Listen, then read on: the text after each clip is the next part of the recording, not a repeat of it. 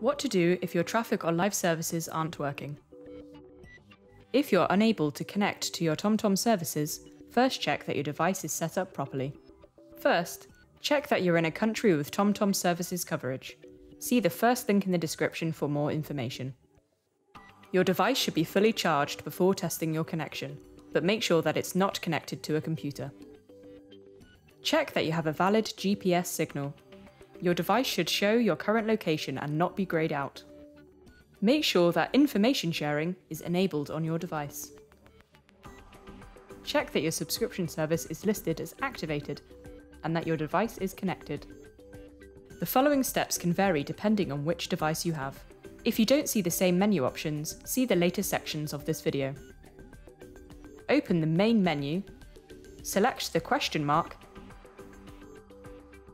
and then About to see your subscriptions.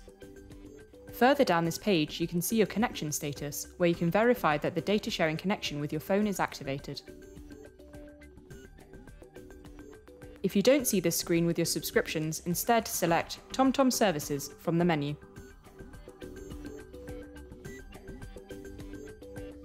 If these options are not available on your device, from the main menu instead select Settings, Connections, and finally, network.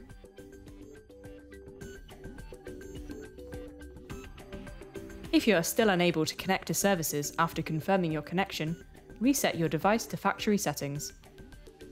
You can find detailed steps for this through the second link in the description. After you have performed the factory reset, wait one hour before trying to connect again. If you are still unable to connect, contact our support team at help.tomtom.com.